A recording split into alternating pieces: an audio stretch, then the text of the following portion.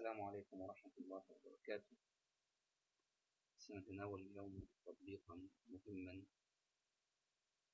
في استخدام نظم المعلومات الجغرافية ومرئيات الأقمار الاصطناعية اللاندسات لاشتقاق التراكيب الجيولوجية الخطية من فوالق وفواصل من مرئيات اللاندسات يمكن اشتقاق التراكيب الجيولوجية الخطية من المرئيات الرادارية أو ملفات الارتفاعات الرقمية وهذا هو الأفضل. ولكن بما أنها ليست متاحة للجميع سنقوم باشتقاقها من مرئيات اللاندسات وأفضل الحزم الطيفية لاشتقاق هذه التراكيب هي الحزمة الرابعة والخامسة والسابعة. لذلك سنقوم بعمل layer stack للثلاث حزم وتصديرها إلى برنامج بي سي آي جيوماتيكا. ثم نستخدم خوارزمي اشتقاق الصفات الخطية. ثم بعد ذلك يتم تصديرها إلى ملفات shapefile للتعامل معها في بيئة برنامج الأرك جي آي إس في واجهة أركماب لتحديد ال X coordinate وال Y coordinate ثم بعد ذلك يتم التعامل داخل لرسم ال rose diagram في برنامج الروك ووركس 15 روك ووركس version 15 سنقوم بالعمل التالي. نستكشف المرئية أولا. من خلال برنامج إيرداس إيماجن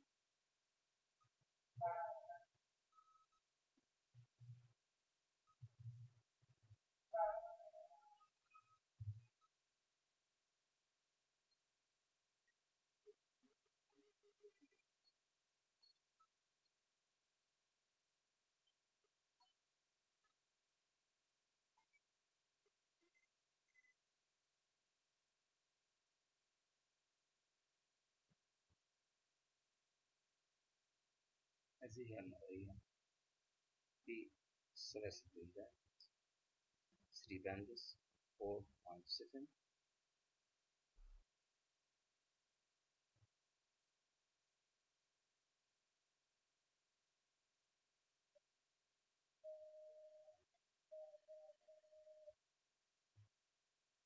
نقوم بفتح برنامج بي سي اي جيوماتيكا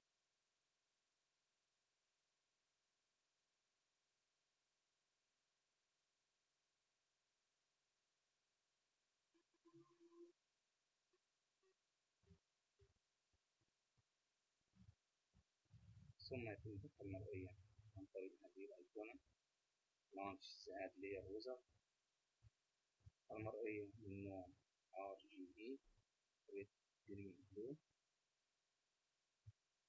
راستر نضغط على زر براوز نأتي بالمرئية.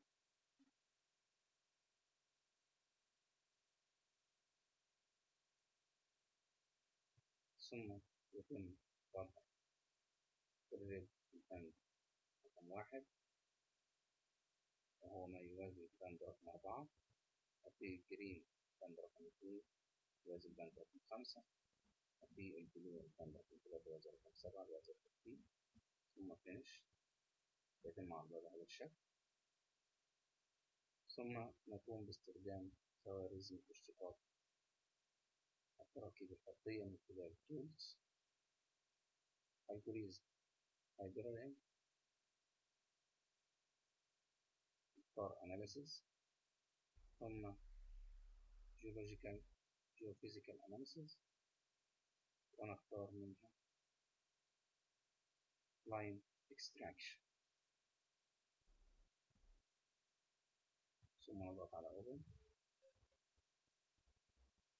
في هذه الخطوة يجب توقف الحمل يمكنك استخدام البند الرابع فقط لتوليد واشتقاق التراكيب الخطية أو اختيار الثلاث بندات؟ ومن ثم معالجتها في برنامج جي اس من خلال ميرج أو يونيو ولكن هنا سنستخدم بند رقم أربعة من خلال تحديده بهذا الشكل. ثم رن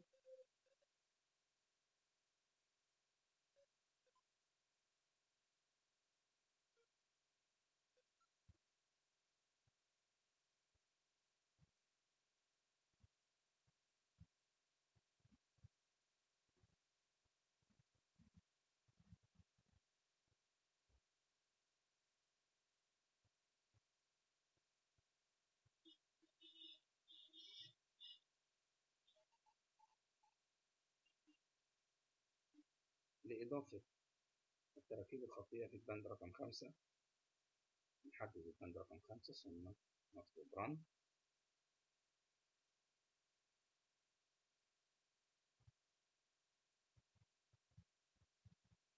وهكذا أيضا ال band رقم ثلاثة ويوازي ال band رقم سبعة ثم نضغط run بهذا الشكل.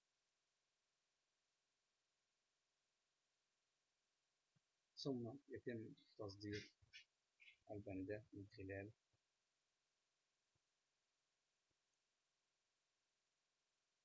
click يمين على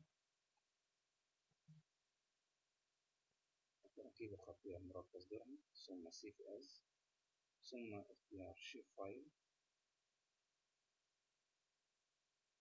ثم اختيار مكان الحفظ.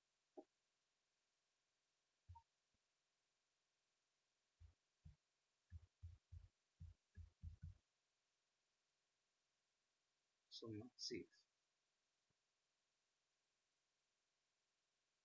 وبهذا تكون انتهت مهمة برنامج PCI Geometry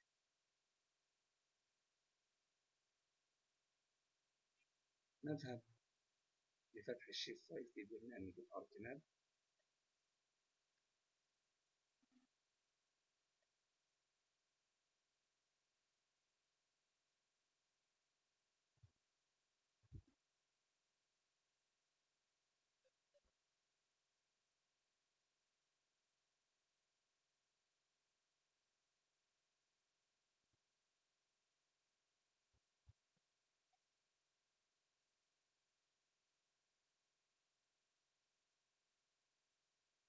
نفتح الاكتيفيتي الخاصة به ثم نبدأ بإضافة حق لتحديد الأطوال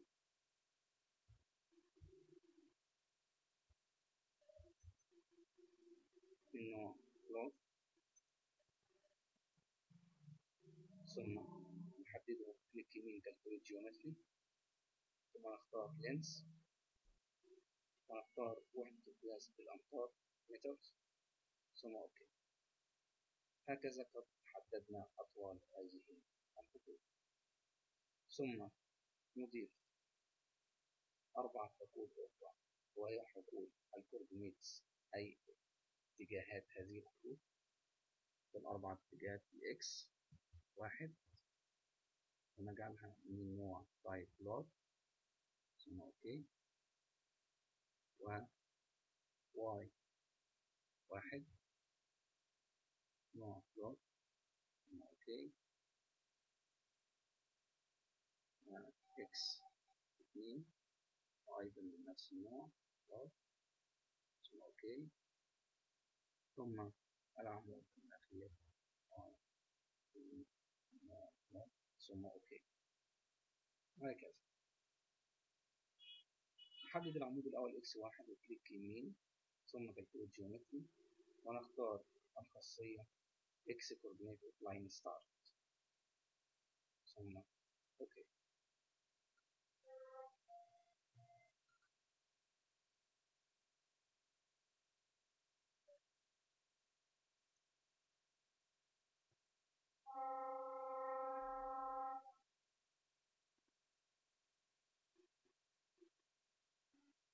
ثم نختار y coordinate line start. وهكذا. العمود الثاني calculate geometry ثم نختار x coordinate line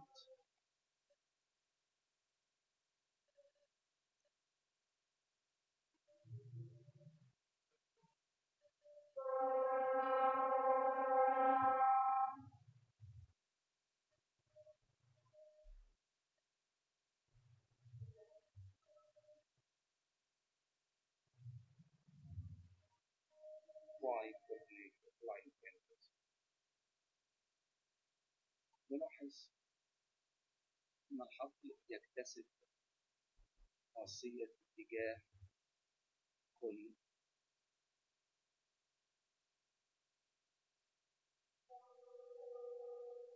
خط على حد مع تحديد بهذا الشكل أربعة اتجاهات الرئيسية لاتجاه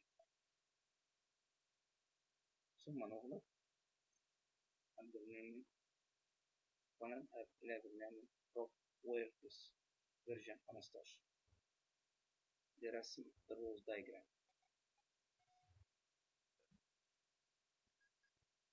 التعامل مع البرنامج يكون بهذا الشكل. من خلال file import dbf database ArcGIS نضغط على هذا المجلد ثم نختار ال attribute table لطبقة ال line extraction. وهي بامتداد dot dbf ثم نضغط على زر scan فيأتي لنا بالأعمدة الموجودة داخل هذه ال file. shape ID وال length وال X واحد وال Y واحد وال X اتنين وال Y اتنين. ثم OK فيأتي لنا بهذا الشكل. يتم حساب ال bearing وال length وال midpoint لهذه القاعدة. من خلال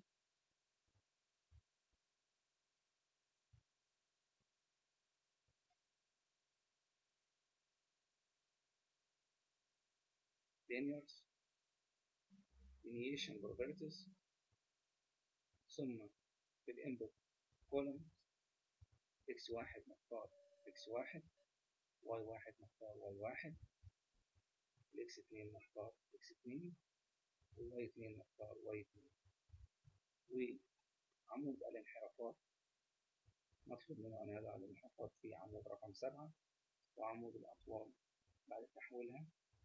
مطلوب منه عمود رقم تسعة وعمود النقطة الوسطى. مطلوب منه نضع في العمود رقم تسعة والنقطة الوسطى ال Y مطلوب منه نضع في العمود رقم عشرة. ونتأكد من تحديد حساب ال bearing والانحراف والنقطة الوسطى. ثم نضغط على process يتم الحساب بهذا الشكل. نحدد العمود رقم سبعة ثم linears وأضغط على rose diagram و from bearing حساب rose diagram من عمود ال bearing وال bearing كان رقم سبعة. نضغط على عمود رقم سبعة. عمود المدخل. نتأكد من تحديد هذه الاختيارات. ثم بروسيس فيتم بهذا الشكل.